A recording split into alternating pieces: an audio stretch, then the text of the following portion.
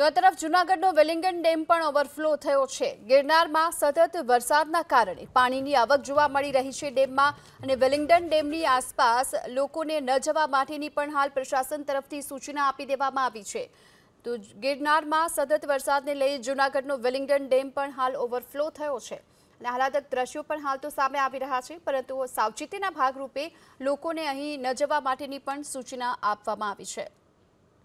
જુનાગઢમાં વરસાદી માહોલ યથાવત જોવા મળી રહ્યો છે. ઉપરવાસમાં ભારે વરસાદ વરસી રહ્યો છે. ગિરનાર પંથકમાં ભારે વરસાદ વરસી રહ્યો છે, જેના લઈને જુનાગઢનો અતિ મહત્વનો એવો વિલિંગન ડેમ છલકાઈ ગયો છે. ફરી એક વખત ડેમમાં નવા નીર આવ્યા છે. મહત્વની વાત છે કે જુનાગઢનો અતિ મહત્વનો આ ડેમ માનવામાં આવ્યો છે અને હાલ નવા નીરની આવક થવા પામી છે. જુનાગઢમાં વહેલી સવારથી જ આજે વાત કરીએ તો મધ્યમથી હળવો વરસાદી માહોલ જોવા મળી રહ્યો છે. સતત વરસાદ વરસી રહ્યો છે, જેને કારણે હાલ ડેમમાં પણ નવા નીરની આવક થઈ જવા પામી છે.